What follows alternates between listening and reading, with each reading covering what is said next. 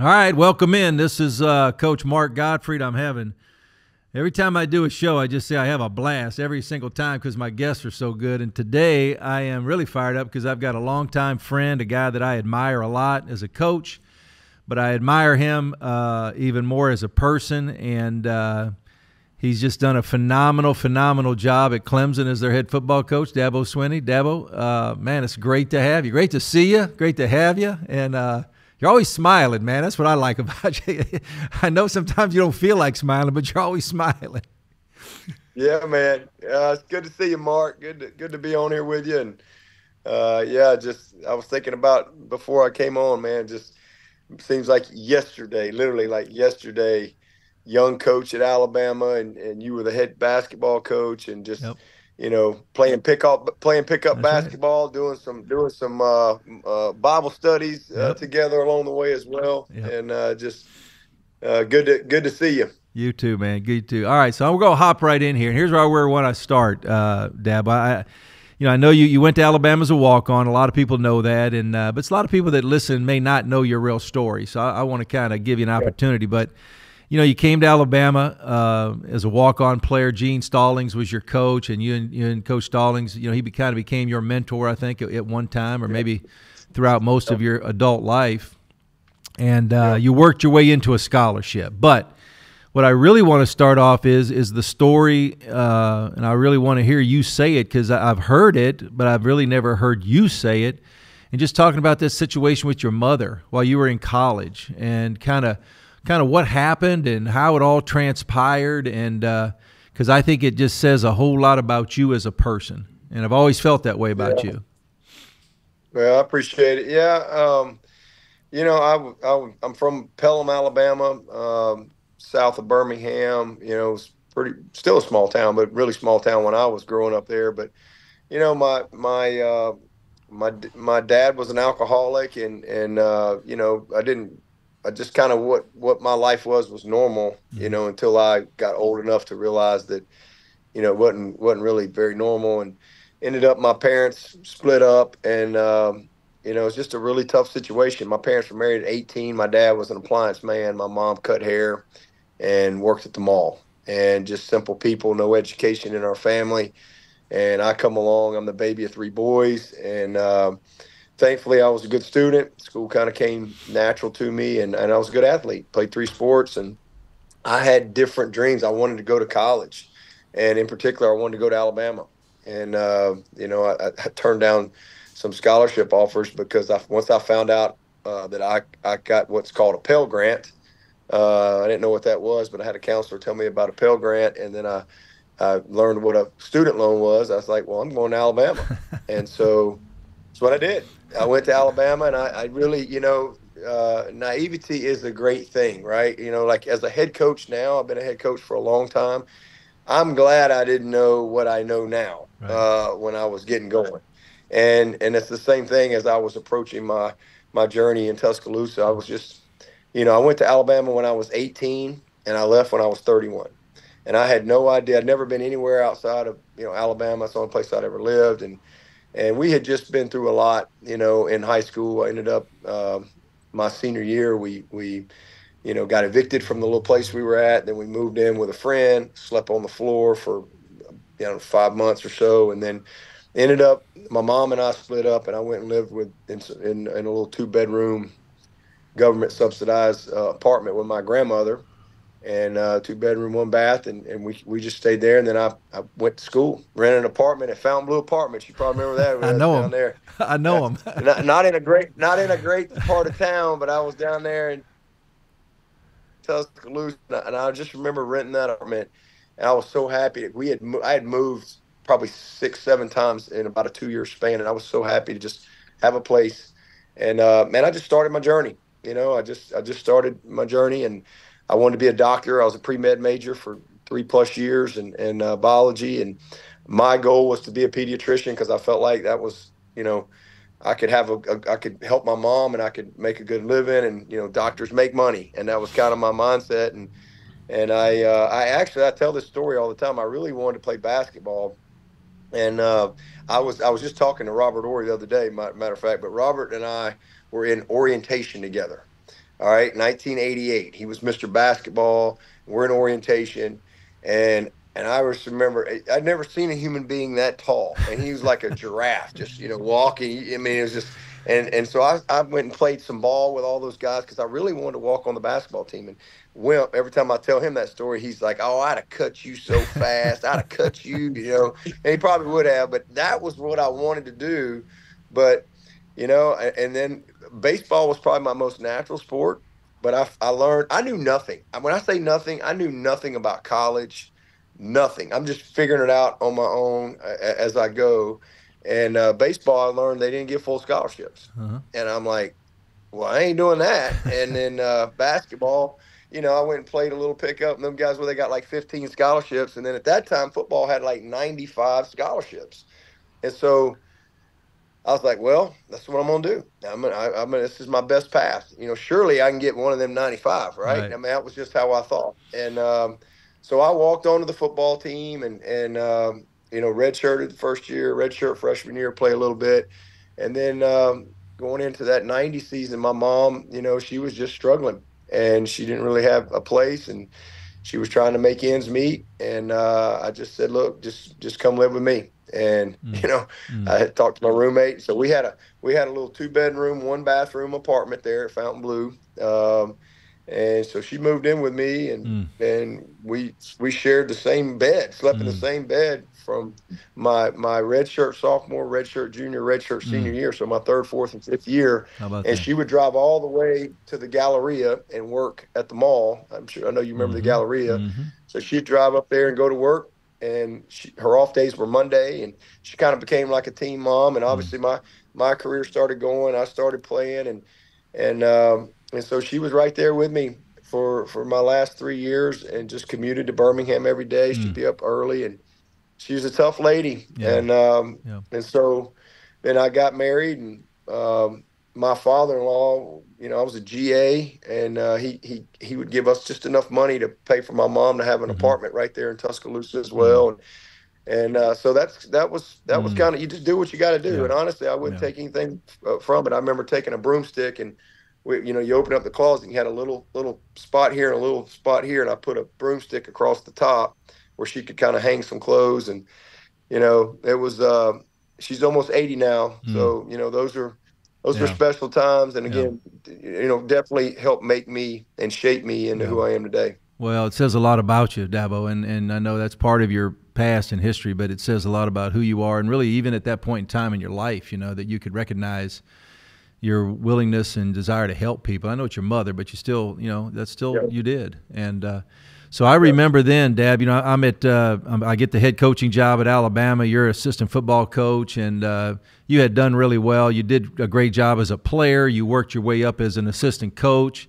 Coach Stallings was always great to you. Then you're working with Mike DuBose. Um, and I tell people it's interesting uh, I was there 11 years as the head coach, and we had five head football coaches in 11 years. Think about that. It started with with Mike DuBose, and it went through Coach Saban. So there was five head football coaches in that short of a time. Think about that for a minute. But you know, I remember, uh, you know, when your staff, that staff got let go, and uh, you know, it's happened to us all, and it's no fun, and uh, it's such an uncertain time. You know, you don't really know what's go- what you're going to do, and and uh, and they brought in uh, Dennis Franchione. And talk to me a little bit about that, because uh, you know I know you, yep. you know you were an Alabama guy. You had played there, coached there. You're from you know just outside of Birmingham. You'd have loved to probably stay on that staff potentially, but kind of give me your thoughts on that. that. That whole transition from Mike DuBose and, and Franchione in that window right when he got hired.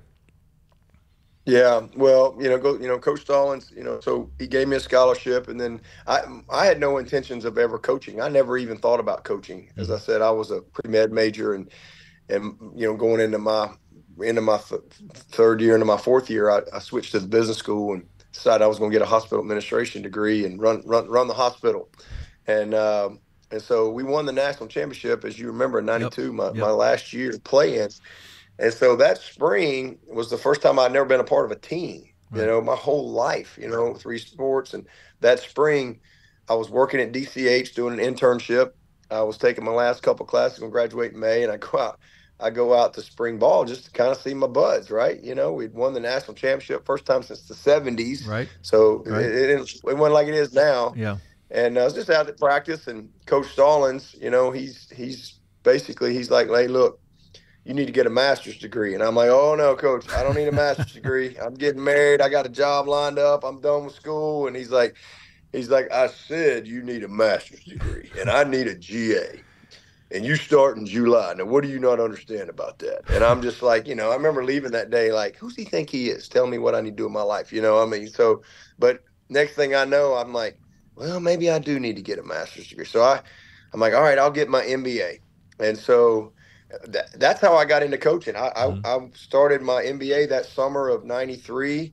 And uh, within a week of being a grad assistant coach, I, I knew I was like, wow, this is, I, this is what I'm supposed to do. I, and I, realized I was equipped. And uh, so that's how I that's how I got into coaching. And then I, and then when I finished as a GA, he hired me full time.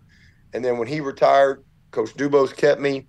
And next thing you know, uh, you know, he gets let go, and you're just kind of, you know, yep. I was hoping. In yep. fact, Mal Moore was the AD, and mm-hmm. and he said, "Hey, I'm gonna try to get mm-hmm. Coach Fran to keep you." And mm-hmm. I met with Fran a couple times, and and I actually stayed around for a couple weeks, yep. but he just, you know, he had his staff, and I, I totally understood that. So next thing I know, I'm packing up, man, and I'm on the move, 31, trying to figure life out, and two kids, and that was a that was a crazy time in my life, but mm-hmm. but it's it really you know you don't we don't none of us like things that we go through at the time especially adversity but it definitely was one of the best things that happened to me mm-hmm. uh, and and just further preparing me to do what I do today when I when I talk to people a lot, uh, Dabo, about you, because a lot of people know I'm I, I really you know uh, love you as a person, and you know you've just always been just a good friend. But you know, a lot of people, especially coaches, you know, we and I coached a long time. I was a head coach for over 20 years, you know, in, in pretty high levels.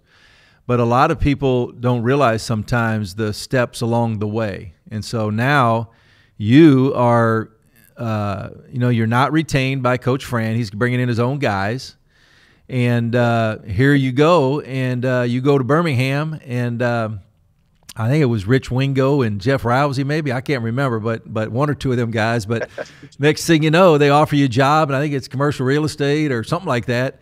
Yep. But but you just had yep. to you had to do it. You had to you had to go make some money, yep. and uh, wasn't a lot of choices probably for you at that point in time. I just gotta I gotta put some food on the table, and I got to do it. So what? Tell me about that. How what was that like for you after having coached, and now you're stepping out and you're yeah. going door to door. You got a shirt and tie on, maybe I don't know, yeah. but you're just like, whoa, this is this was a change. I felt like a man without a country. you know, again, I, I went. You know, I'm the first college graduate in my family. I got an MBA. I'm a coach at my alma mater, a place I love. I mean, I'm doing. I'm just. I'm passionate about it. And next thing you know, boom, life happens, and and I'm out of a job. And my contract was up in June. I was lucky that I had till June and it was just all of a sudden, you know, I and I had a great resume and all this experience. I couldn't get a job. I mm. tried on.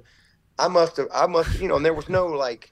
You didn't have the internet and social media right. and all that stuff. You know, back then like you do now uh-huh. in 2000 and and um, man i'm writing letters sending resumes i mean I, i'm trying to stay in coaching and next thing you know february's here and you know in coaching there's a little yep. window yep that you're yep. going to get hired. Yep. And all of a sudden that window's kind of, you know, yep. the job's kind of settled out. And, it, and also back then you didn't have analysts and player development. You didn't have all that. Right. I mean, you had nine coaches and a couple GAs and that's it. Right. And so jobs are full and I'm sitting at the house and, and uh, Rich Wingo calls me and, and it's, and this is a, this is also part of my testimony. I say this all the time to coaches. Like when I went to Alabama in 88 and 89, he was the strength coach. And I'm just, I mean, I had to, I, I had to, I had to walk on. I had to try out to get into the walk on program, you know, and then I had to go through the walk on program. Lower gym, as you remember, they put you in jail now if, you, if people did what we had to do in lower gym. And but but that year and a half I was with Rich Wingo, you know, left a mark on him. I didn't know that, and so when Stallings comes in in '90, Rich Wingo's gone, and so that's when I became started playing in 90, 91, 92 and then I became a GA and a coach, and I'm having my career. Fast forward, it's February of 2001, so I hadn't I hadn't been dealing with Rich Wingo since the end of the '89 season. Mm. You know, and all of a sudden I get a phone call from this guy, and he he. I remember, I remember it like it was yesterday. It was, you know, that was in the, it was February one. You like had caller ID, Right. you know, yeah. And it's like my wife's going, it's Coach Wingo, and I'm like, I remember standing up in my chair. I was still scared to death. This man, and I'm like, Coach Wingo, how are you doing? And he's like, he's like, Dad, what are you doing? I was like, well, I'm just sitting here. I'm and, and I've been trying to get a job. And he goes, Hey, I want you to ride up to Birmingham and let me let me talk to you about something. So I and I, I go to Birmingham. I don't even know what he did, but he after since he had left, gotten out of football in '90, he had risen up and was the president of this shopping center development company called AIG Baker at That's the right. time That's right. and they were building shopping centers all over the country. Very, very successful uh, company, and uh, AIG was their equity partner. I mean, they were they were booming, but he wants me to come work for him, and I'm like, oh, Rich, I'm a coach, man. I don't know anything about building shopping centers. And I'll never forget this. He told me, he goes, he goes, Dabo, I'm not hiring you because you know anything about shopping centers. He said, I'm going to teach you all that stuff. He goes, I want to hire you because I know who you are Right. and I know you're going to show up, and I know you, I know you're going to figure it out, and I know your work ethic and, and and your character and all these things. But I didn't want to do it, and I'll never ever forget it.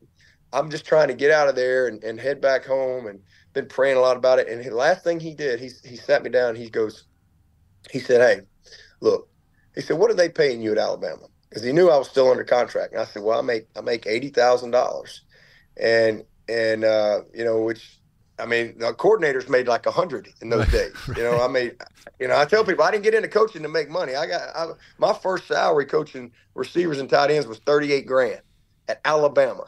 But anyway, I make I said I'm making eighty grand, and he goes, he goes, well, I tell you what, how about I pay you eighty grand?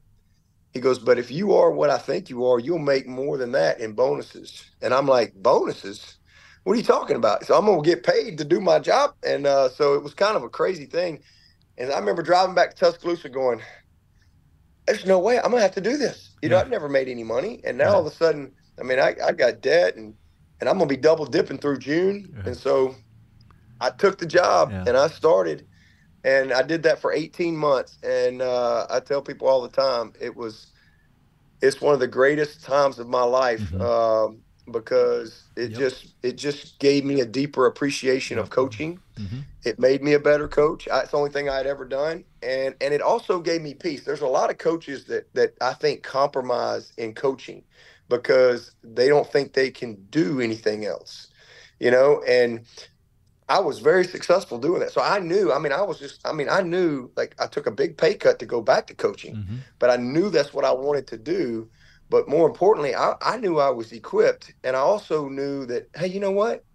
If it's not guys, if it doesn't work out, because a lot of people were telling me don't take the job. Tommy Mhm. Bowden was in trouble, Mhm. blah blah blah blah blah, and I'm like, no, this is what I'm supposed to do. I don't really know why, but I know I'm Yeah. supposed to. I'm supposed to do Yeah, this, yeah. and uh, and I and I tell people all the time. But when I did that, I knew I could be successful doing something else, Mm. and that really kind of freed me up, Mhm. if you will, to just go be a great coach. Yeah, it's interesting, Dabo. You talk about, you know, what you made. I was a graduate assistant at UCLA, made six hundred and sixty-one dollars a month as my stipend, and I was trying to manage it living in Los Angeles. And a lot of people don't realize they see you on the sidelines now.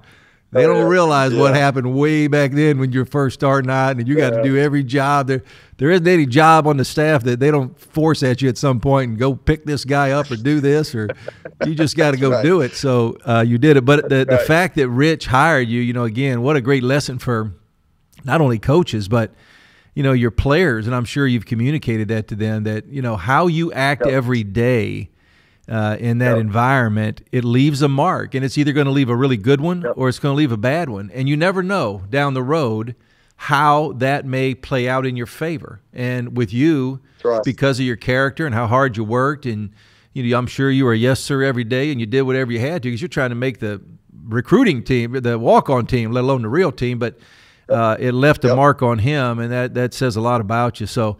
So then you get the opportunity. Uh, talk a little bit about because I can remember the story pretty well. You know, you, you get hired at at uh, at Clemson, and um, a couple two or three years in, I think maybe more than that, four years in is uh, I think Tommy was struggling. I think he'd won. I can't remember. It was about six, five, six games in, if I have that right. Six games in, Yep. and uh, Yep. you're now at Clemson, and um you're six games in and uh, in the season, and Coach Bowden decides to resign. Talk a little bit about that yep. day, that morning. Did you see it coming? What was going on? Yep. Like, you know, I, I, know as a staff, we all sometimes feel like, boy, we're not we're not playing so great, and and uh, you know maybe they're disappointed, but you're always trying to hang on. I mean, sometimes it, you're not always sitting on the top of the pile. Sometimes you're just trying to That's swing right. your way through it. And you guys probably were in that mode yep. a little bit. And uh, so that that day had to be a, a, a, memorable day. I mean, it had to be a, a, crazy day for you, I'm sure, that morning. Yeah, yeah. Well, and it goes back to really the lessons that I learned as a player. So in in, in my sophomore year in '90, Woody McCorvey, who who ironically came from Clemson, to be the receiver coach at Alabama. I was scout team guy, and and I almost left Alabama this, that prior summer because I was just like, man, I knew I could play, and I just I was ready to play. I was going I was going to try to go to North Alabama and be the man, right? Mm-hmm. And uh, and I'll never, but I but I just I got my refocused, and I'm like, you know what, I'm I'll be this this is what I'm gonna I'm gonna graduate from Alabama. It was important to me to graduate from Alabama that was important to me. And I knew as I would be the first college graduate in my entire family, parents, grandparents, great grandparents, you name it. And and I just said, you know what, if it's if I'm gonna be a scout team guy, that's what I'm gonna be the rest of my life. And I mean, I'll be the best one they've ever had here. And and uh, so, you know, came on a Tuesday practice. A couple guys had gotten hurt at the beginning of the year. Next thing I know, this McCorvey, he calls me over and he says, "Hey, I'm gonna give you a shot." And I didn't even I didn't even know if he even knew my name. He was, "I'm gonna give you a shot today. If you do good, you're playing Saturday." and I mean, I, I just never forget that. And and and a couple things that I learned from that moment that that carried on to what you're talking about is you never know who's watching you. Mm-hmm. You never know. Who's, so whatever it is you're doing, mm-hmm. man, you just I always say just bloom where you're planted.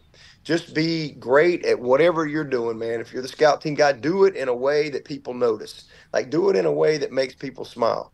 Do put your heart into whatever it is you're doing. Like like like the Bible tells us, right? Like whatever you do, you do it with all your heart as if you're working for the Lord. And and because when you put your heart into something, you go above and beyond. And so I didn't know Woody McCorvey was watching me.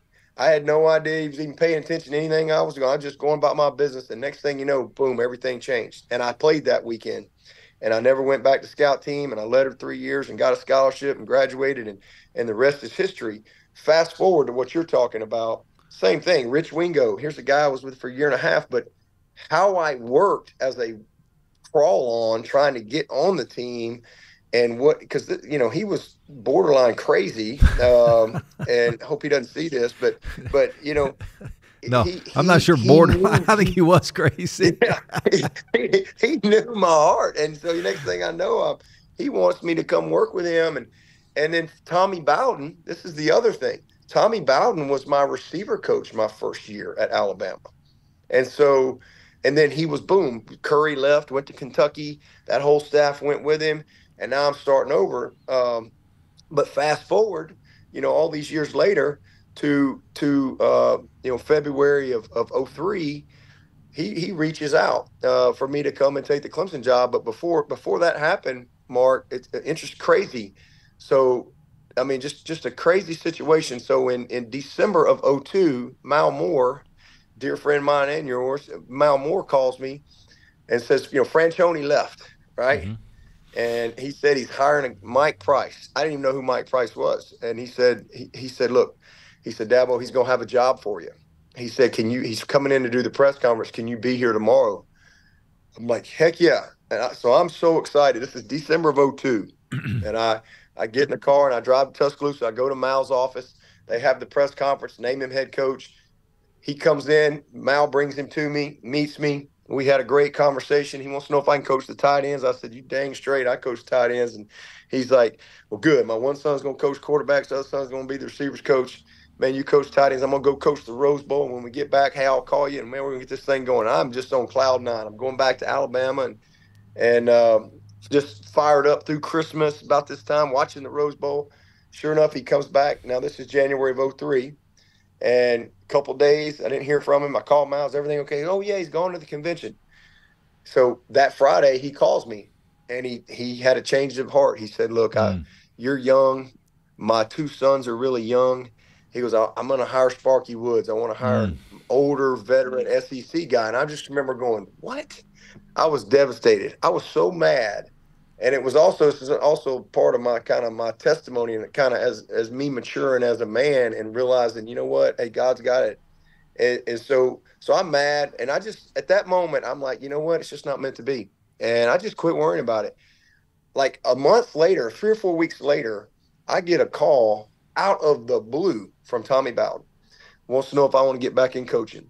And so i go up and interview get the job and I was an assistant for five and a half years. And as you alluded to, come to work. We we lost to Wake Forest yep. on a Thursday night. Oh, it was awful. And mm-hmm. we're three and 3 mm-hmm. Ironically, we were number nine in the country going into the season, and we got destroyed by Alabama in the opening game. And we played in a little kickoff classic, and they they they kicked our butt. And then we so we and it kind of put us on a spin, and we we're three and three, and they decide that hey, a change is going to happen we had no no idea, uh, mm-hmm. no no clue. I mean, the game had happened on Thursday. This is Monday, and we had had a staff meeting at 7 a.m. that morning. In fact, the crazy thing about it, I did the devotion that morning. Uh, we'd do a little devotion to start each staff meeting, and so we had had a seven o'clock staff meeting. It was now it's about 10:45, 10:30, 10:45, and the ops guy comes you know, into our, we were in the offensive staff room planning, getting ready to play Georgia Tech. We were, I think we were doing blitz pickup. And he comes in, I'll never forget it. And he says, Hey, Coach Bowden wants to see all of y'all in the staff room. Well, I, I knew right then something was weird because that mm-hmm. never happened. Right. And again, we had already been through a whole weekend. We'd already had a staff meeting at seven that morning.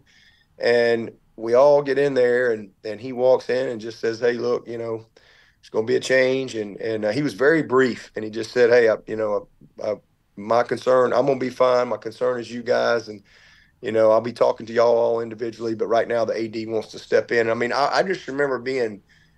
It's almost like having an out of body experience. Mm-hmm. I mean, I was like numb, like thinking like, oh my, because immediately I'm like, man, now I got three kids, man, uh, you know, just, just, it just the whole thing. Mm-hmm. Well, the AD walks in, and the AD basically he he was not a man of many words either, and he just said, listen, mm-hmm. men.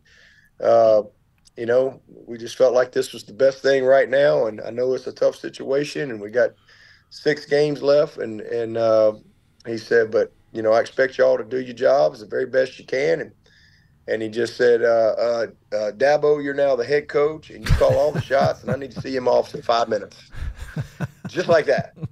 I mean, like you know, and I, I mean, and I and I and I just I was already like feeling like I was nauseous. And then when that happened, it was like my body, I was like, I literally was having an out of body experience. And then he walks out and everybody's slamming notebooks and throwing pens. And, and then all of a sudden the room got dead quiet mm-hmm. and everybody's looking at me and I don't even know what to say. And I just said, look, you know, hey guys, let me go see what he's, you know, let me go see what he wants and we'll, we'll figure it out later. Mm-hmm. And I just got up and left. I went to my office. I got a notebook.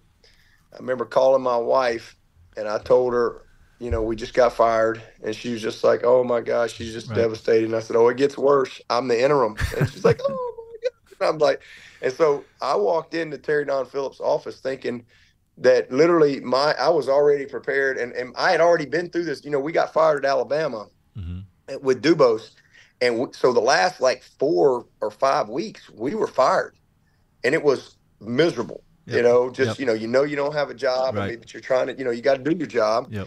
And it was just brutal. And so that's what, in my mind, I'm thinking he's going to say, "Hey, you know, hope you'll do the best you can. Maybe try to get the next guy to keep you." And uh, that was my mentality walking in. And when I walked in there and sat down with Terry Don Phillips, I mean, it, it changed my life because he basically, you know, he said, he said, "Look, Dabo, I know it's a tough situation, but Tommy and I talked, and we both felt like this was the right thing, and felt like you needed to be the interim." And, he, and here's what he said: He goes, "But I want you to know something." He goes, first of all, I'm gonna hire the best coach." He goes, "But whether you win a game or you don't win a game, I'm gonna give you an interview for this job at the end of the year." Mm. And he mm. goes, and then this is what he he he says: "I've watched you for five and a half years." And how you handle yourself, how you were the players in the community, how you teach, how you coach on the field he goes, he said, Dabo, I think you're what we need here at Clemson. And he goes, and I, I just, he said, I really believe that. He goes, again, I'm gonna hire the best guy. He goes, but here's what I want you to do. He said, I won't, I don't want you to be the interim coach. I want you to be the head coach mm-hmm. for the mm-hmm. next seven weeks.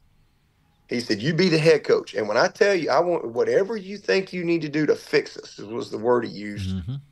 I'm going to support you. If you want to fire everybody, you fire everybody. He said, I don't care what whatever you think you need to do, but for the next seven weeks, I want you to be the head coach. And in the meantime, I'm going to interview and I'm going to hire the best coach. But he said, I really think you're what we need here mm. at hmm. Clemson. This is, and so I'm sitting there just blown away. Wow. And, and, uh, but, but it was also kind of the same message that I got from Woody McCorvey on that football field back mm-hmm. in 1990. Mm-hmm. You know, I mean, it, it, was it was the same thing, and you don't ever know who's paying attention. Right. You know, and so five and a half years, he's like, "Hey, I've been watching this, and I've been paying stuff you would never even know," and and so and that's the first part. But the second part is, you know, you can do a good job, but you have to be prepared as well. Mm-hmm. And you know, I'd always prepared to be a head coach. I didn't know if I'd ever have the opportunity, just like I'd always prepared to go play. I knew the offense. I knew if mm-hmm. I ever got a shot, I'd be ready. And uh, so a lot of times you get an opportunity and people aren't prepared, but I was prepared and it was crazy. I mean, now all of a sudden you go from just one of them, now you're the leader, and now you got to make some tough decisions yep. right out of the gate. Yep. And it was crazy. It was a, it was a crazy, crazy day. Um, but hey, we went four and two, and mm-hmm. you know they gave me the job, and you know, um, so I just you know, Dabo, I can. I always used to my, tell. I'm on my 16th year. How about that? I used to tell our players all the time when I coach. You know, you're always being evaluated, and not only you as players, assistant coaches are being evaluated, yep. the head coach is being evaluated, the AD's being evaluated, the president's being evaluated. We're all getting evaluated. So you better understand it yep. every day, in every practice, in every drill, and how you are in the weight room or in the in the dining hall or wherever it may be. You're always being evaluated. Let me ask you this one, Dabo. This is, this is a uh, you know, you you're down in you're in uh, Terry Don's office. You've got to be your head's got to be swirling like you know. Okay, whew, what what do I do first? What, what's my what do I do the first thing here other than call your wife? But other than that, okay, I got. And I, I think you had told me this one time. We were at Amelia Island in the ACC meetings. I think we were yep. in the pool one time maybe, and you had told me that. Uh, I think you made a couple tough calls right then. Was it that day? It was it pretty good? Like you know, because yep. one thing people don't really understand, the fans don't really understand. You know, they, they watch your team and they look out there and see your team run up down the field, and there's the head coach and all these people in these coaching shirts, and they really don't know. You know, nobody really knows. You know, but we know, coaches know. But you know, loyalty uh, amongst your staff, guys that you know as a head coach, and and I've had to make some hard decisions as head coaches, and they're hard. They're hard because you're dealing with people yep. and people's lives and yep. their families but then you're balancing that with what's best for the program. I have to do what's best in my heart, in my gut. So, you know, as you walk back down that hallway, uh, what's going through your mind then? Yeah, it's incredibly lonely, uh, you know, to, to be the leader at times, as you know. And so the first thing when I came out of his, I mean, I, like I said, I went, I walked, I was in sweatpants and a sweatshirt. Mondays were long days. And, and I, when I came out of the office, I went from my mentality going into the office was, this is going to be the most miserable seven weeks of my life. All right, maybe the next guy will keep me.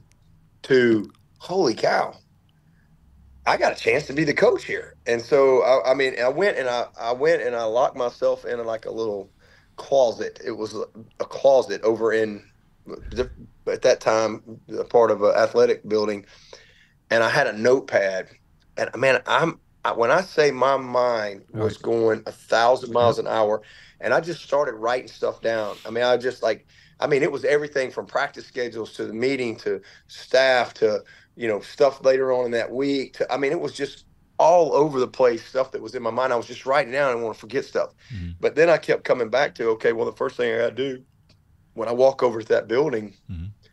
I'm gonna have to meet with all these coaches and I've got to, and I, and so I felt I said, okay, I'm going to let them all know exactly what the AD told me, mm-hmm.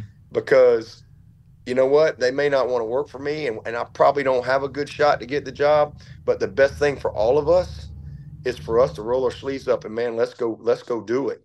And so maybe we can get this job, and and a lot of people have an opportunity to stay, or it helps us get a job somewhere else. And so, um, but I also knew that that I was going to have to make a change with our coordinator, and that was a mm-hmm. really, really mm-hmm. tough thing because mm-hmm. again, yeah, you go. From, I mean, I'm sitting in a meeting at ten thirty, you know, and I'm I'm the receiver coach, and we're we're getting ready to go play a game. You know, I'm not, you know, it's it's incredibly hard, and and especially you know we ain't even been a head coach and for 30 minutes, and now I got I've got to let somebody go right. who I've been working with for four years. It, yeah. It's really, really, really difficult, but I also knew in my gut and in my instincts that that if I didn't make that decision, we had no chance. Right. I, we didn't have much of a chance, but I knew if I didn't make that change, yeah. we had no chance because right. there was just a lot of negativity, and I just needed to. I needed to start to bring people together, and and then I knew I wanted to do. I I was going to have to do it, and um and so that was really tough. So I met with mm-hmm. each coach, and I was very transparent, and I said, "Here's the deal," and uh, you know what I made the one change and I had to move. Now, now, you know, that's a really tough conversation. Uh, but now you got to move people around. I'm taking a GA from defense, and hey, you're going to help coach the receivers with me, and hey, this guy, the tight ends, you're going to coach the quarterbacks, and here's how we're going to meet, and and then it's you know you're, you're figuring out how, what your message to the team's going to be, mm-hmm. how we're going to practice, and it's just a lot. But but you said it, man, and, and listen, there's been times even this year, you mm-hmm. know, uh, I had to make a change this year, and one of the changes I made was a guy who played for me, was a captain for mm-hmm. me. And listen, you talk about incredibly difficult and lonely uh, situation to be in. It's hard. so hard, but hard. but um, got Coach Stallings told me one time, you know, I, I, was struggling with a decision that I knew I had to make earlier on in my career, and uh, I called him, and you know, he, he's not a fun guy to call. Uh, to, you know, he, he he's not a there's no gray area with Coach Stallings, if you will. And um, you know, he he's just flat out. I was I was in the process of kind of kind of making my case about what the situation was, and mm-hmm. he just cut me off. Like he cut me off, and he goes, "Hey, Dabo, let me tell you something. If you know what you need to do and you don't do it, uh-huh. then somebody else ought to have your job." Mm-hmm.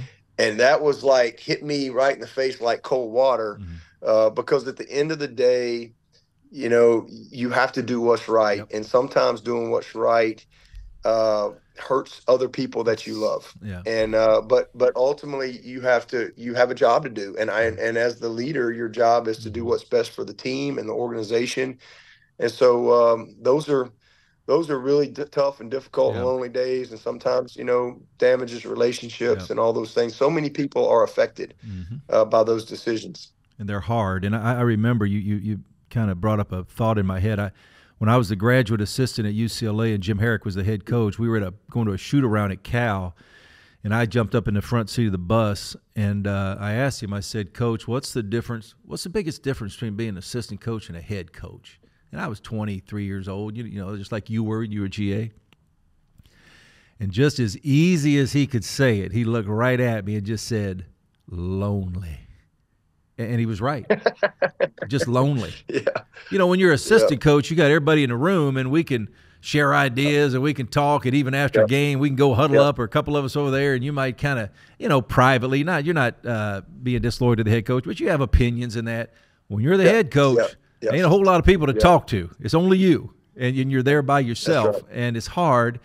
And then uh, you know the the decisions you got to make. Uh, you just got to go with your gut at times and, and say, "Hey, this is what I think is best," and you and you and you pull the trigger, yep. and uh, you were able to do right. that. And you know, Dad, but you've had such a, um, you know, your coaching career has been so great, and you know, uh, a guy that we both know, Joe Kines, uh, who who actually had the interim job one time at Alabama. I can't remember which. Maybe that was you, you might remember well, but anyway.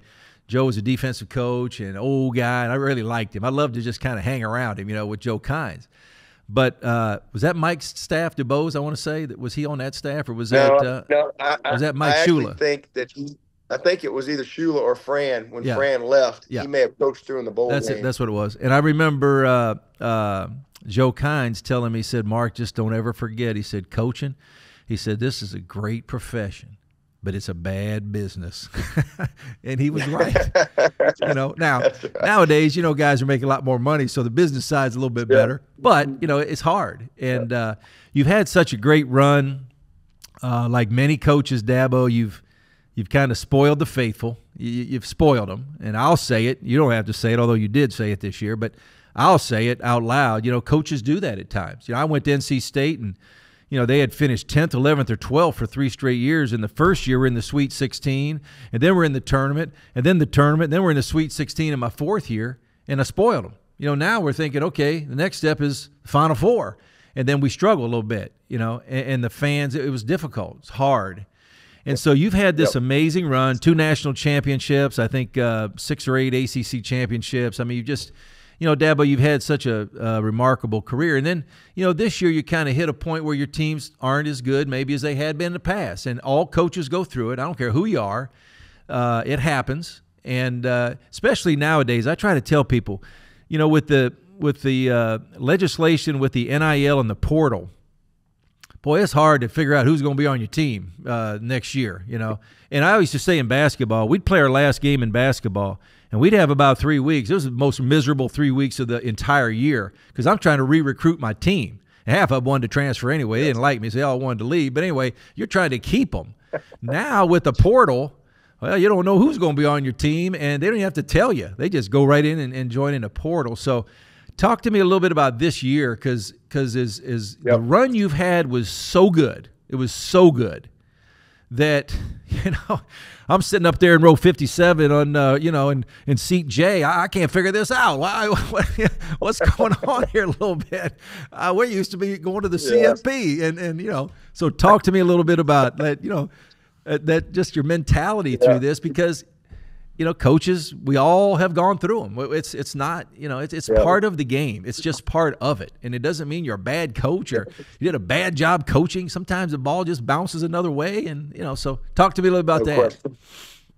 Yeah, no doubt, no doubt. We're all human, and we're not robots. But you know, we we went 120 years at Clemson. We won one national championship and we've won two in seven years. Yep. And so uh, with that comes, and then on top of that, you know, when I we got when I and, and I got the job, and then uh, my third year, 2011, we won the league. We won the ACC for the first time in 20 years. How about that? We won 10 games that year for the first time in 20 years. Clemson went 20 years. We we've won it eight times in the past 11 years. Uh, we we went on. We we had 12, 12, 10 plus win seasons in a row all right, and that's only happened three times in the history of football.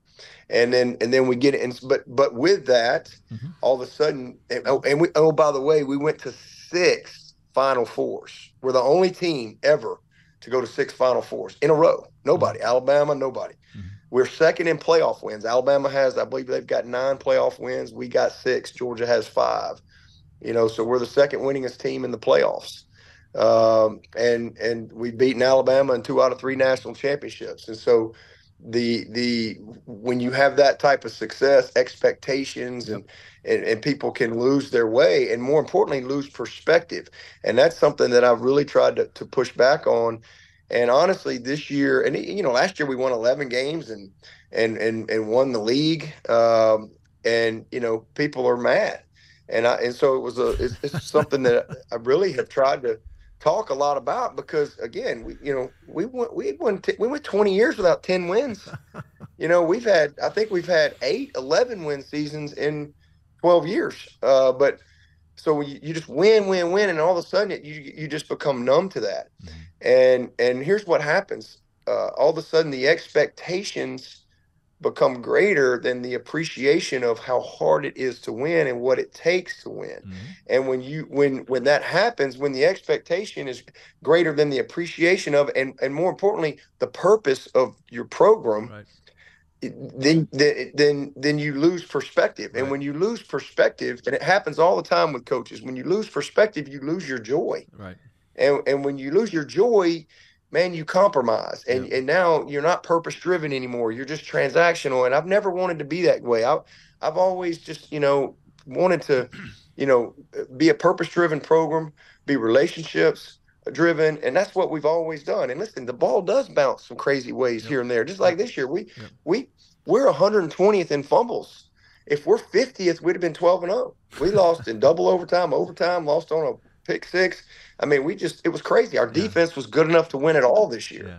And but you know what? Sometimes, man, we've had some it great happens. breaks along the way. And do this long enough, mm-hmm. you're gonna have some of those things. And so honestly, this year, has, has in a weird way has allowed me to kind of coach and teach in a way that I haven't had in a long time. And it's not that you don't try.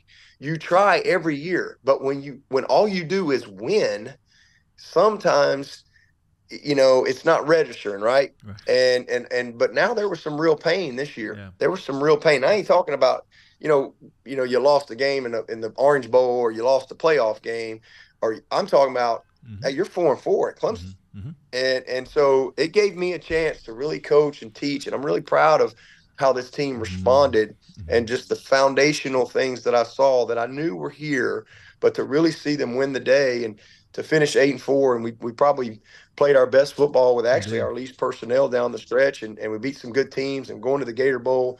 But it's it's been fun. But even even with this year, mm-hmm. Mark, mm-hmm. we, we we won eight games. Okay, for the thirteenth year in a row. All right, now this is what I mean by perspective. We eight games. That's a that's that's the mark. So that's 13 years in a row of eight plus wins. 133 teams. You know how many teams can say that? Mm-hmm. Clemson, Georgia, and Alabama. Wow. Three. How about that? That's it. Mm-hmm. And so guess what? We win this bowl game and we get a ninth win. That, that list drops to two, us and Alabama. Mm. So, you know, we're the second winningest team in the country since 2011. Mm-hmm. I mean, we're second in draft picks. We're second in first round picks since I've been a head coach. We've had a lot of success. We've, you know, there's three teams that have won two national championships in the last seven years us, Alabama, and Georgia. But yeah, I mean it's not easy. Right. You don't just flip a switch, man. Yeah. You don't just take a pill. It, it takes what it takes, yeah. and so sometimes injuries. Yep. Uh, sometimes the ball yep. can bounce funny. Yep. All of these things, but at the end of the day, I think you got to keep the proper perspective. Mm-hmm.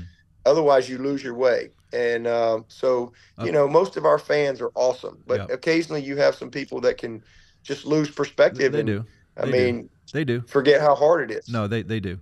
fans do. They just want to come, show up, and tailgate and go home happy, and that's really about all they care about. And sometimes they don't really know. And but I've always said, you know, Dabo, throughout the years, and you know, when when you're when a coach has to get his team and you have to bounce back from something really difficult, it's like you guys. You're four and four, and you go from four and four. And Notre Dame, by the way. Right, and and four and four, and here comes Notre Dame. That's right, and you're four and four, but from that point in my view, Deb, this is just my view, and I believe this because I coached for so many years. That is the sign, in my view, of really, really good coaches. Because what happens a lot of times, Dabo, there's teams that are four and four, and they go the other way. Implodes. It goes the other way, yeah. and now you end up, you know, four and eight, or you know, five and seven, because you know there's dissension. Players are barking, they're mad, their parents are grumpy. The high school coach can't believe it. This guy's mad. This guy's disappointed, and all that seeps into your program and next thing you know, you're teeter on, you're just trying to hold it together. Where you guys, I thought, did a remarkable. I mean, I just, you know, I'm just a fan. I'm out here watching football every Saturday. But I, I, I'm saying that's one of the. It might be one of the best coaching jobs you guys have done from that point forward, and maybe through the whole year. But yep. it might be because at that point, it think that thing can it can turn, and then for a lot of a lot of yeah, programs, got, it does. You got, you got, yeah, you got Sam Hartman, you got Drake Maye, you got Haynes mm-hmm. King, you got Rattler yeah. in a rival game, yeah. and, and you're sitting there four and four. But I, I basically told the team, I, I came in, I said, here's the deal. You still have a decision to make. It's either half full or it's half empty. That's number one. Things happen in life. It's always right. about how you respond. Mm-hmm. And we've got more of an opportunity right now at four and four than we would if we were eight and zero oh to be able to really use our platform to teach somebody you know how you pick yourself up and and and I, I talk to them all the time about you know adversity is everybody but here's the mm. difference in successful people and unsuccessful people. Here's the difference in those people that are four and four and it goes one way and four and four and it goes the other way. It either shines you up or it grinds you up. It's mm-hmm. all about what you're made of on the inside. That's right. And man you saw the heart it shined us up. It it, it, it you know other people if you're not made of the right stuff it will grind you up. Yeah. and man we got an unbelievable foundation. We got great kids. You know, our staff. I mean, I'm really proud of everyone. And again, we had we had, uh, the Notre Dame. We started a true freshman at right guard and a guy that had never started a game in his life at left guard, and and we we ran the ball all over them dudes. Mm-hmm. Uh, 250 yards rushing, shut mm-hmm. them down. Mm-hmm.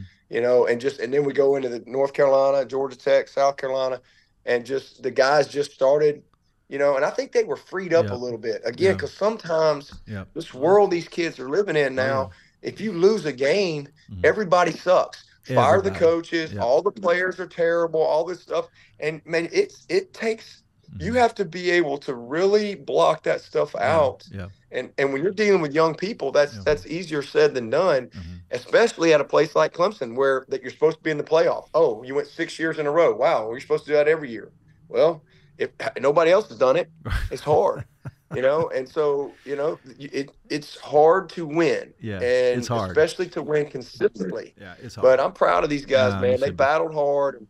Man, we're gonna have a heck of a time down there at the Gator Nah, Bowl. We're you guys, are, you're going to do great. It's gonna be fun. Yeah, you are. Real quickly here, I got I got two things I want to do, but one real quick, and I don't want to talk about this long, but you know, you've got the NIL and the portal, and it's the it's the hot topic of the day. Everybody's trying to figure it out. Everybody, there's so Yep. many rumors about this guy's getting. Saw the other day where somebody said Marvin Harrison, Ohio State might get 20 million. I, I don't know. You know, the tough thing is you don't know what's true and what's not true. Everybody just says something, they put it in social media, but it's got to be so hard to navigate through some of that. You got to embrace it. It's here to stay, but it's got to be really hard because it's not like it was when Yep. When you started. You know, when you played at Alabama. No. it's a whole different animal now. This is a, this is a whole different deal. Yeah. Well, we- we're in a competitive situation that has no rules, Right. and and that's not healthy for any any any endeavor. Uh, the the NIL and the portal are not the problem. Right. You know, it, the problem is tampering. Mhm. The problem is everybody's a free agent every year, and they have all these marketing and there's Yep. all this tampering going on, Mhm. and so there's no order. And you're dealing with young people. The Right. sad part is these are 17, 18, 19, 20 year old kids. They don't know. They only know what they know. That's right. And and and as adults, we're setting a lot of these kids up to fail. 98% of them are not going to play in the NFL. And we've gotten away from talking about education and things like that. And and it, it could all be fixed if they would allow football people to fix it. But Mhm. it's it's it's out of control It's- and uh, it's it's just it's just no rules. I mean, I'm blessed because I mean we've been and we're still impacted. You know, everybody everybody's impacted to a certain degree, but you know, it's like if we could put all push our problems in the middle and, Mhm. and, and God would say, okay, one, two, three, and we could all see each other's problems.